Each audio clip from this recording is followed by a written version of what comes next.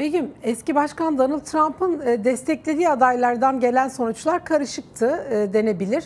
Peki bundan sonra ne olacak sorusuna hala yanıt arıyoruz. Biden dışında eski başkan Donald Trump'ın da 2024 başkanlık yarışında adaylığını açıklaması bekleniyordu. Ama bu gelen sonuçlarla herhangi bir değişiklik var mı? Dahası Trump cephesinden nasıl okunmuş görünüyor bu sonuçlar? Ee, eski ABD Başkanı Donald Trump Amerika'daki bu ara seçimleri siyasi nüfuzunu göstermek, kanıtlamak için bir fırsat olarak görüyordu aslında ama onun da umduğu kırmızı dalga olmayınca hesaplar biraz e, değişiyor e, ya da farklı hesaplar yapılıyor, farklı sorular soruluyor denilebilir Cumhuriyetçi Parti içerisinde de.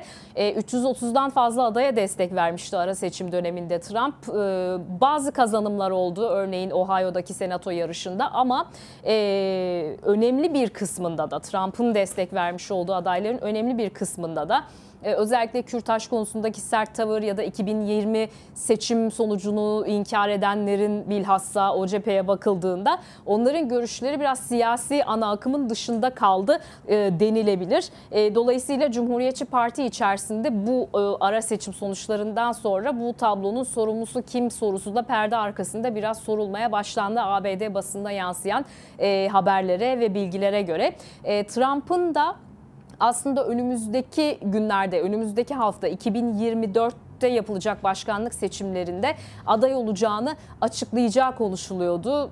Önümüzdeki hafta önemli bir açıklama yapacağım demişti hatta ara seçim öncesinde Trump.